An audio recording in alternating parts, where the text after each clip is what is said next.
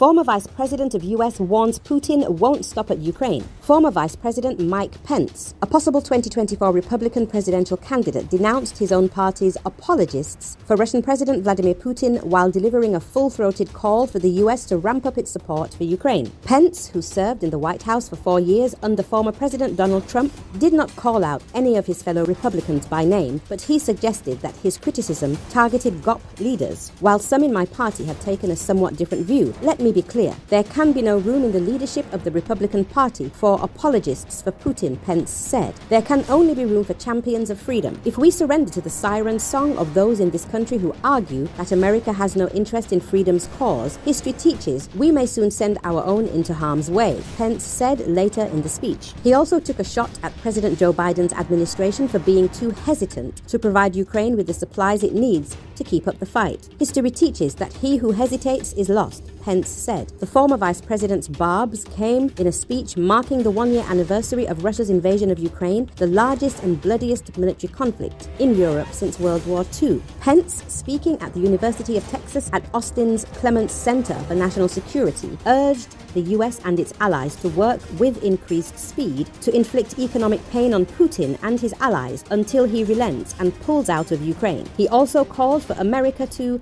accelerate the pace of military provisions to Kyiv and continue providing ample humanitarian assistance to the millions of people who have been caught up in the brutal conflict. I would say anyone that thinks that Vladimir Putin will stop at Ukraine is wrong, Pence told in response to comments made by Florida Governor Ron DeSantis, who earlier this week criticized United States President Joe Biden's visit to Ukraine. The governor told that Moscow poses no threat to other countries, Washington included, as Russia has been really wounded